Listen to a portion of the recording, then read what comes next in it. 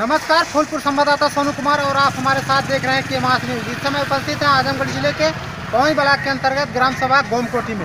गोमकोठी में प्रधान के द्वारा देखिए नाली ये बनाई गई है, पानी आने यहाँ पे देखिए सफ़ाई कर्मी की सबसे ज़्यादा लापरवाही दिखाई दे रही है और प्रधान के द्वारा इस चीज़ को मामले में कुछ संज्ञान में लेकर के इस नाली को साफ़ कराना चाहिए, क्योंकि यहाँ पे जो हरी बगल के ये जितने भी लोग हैं दुकानदार सब लोग इस कचरे से परेशान हैं।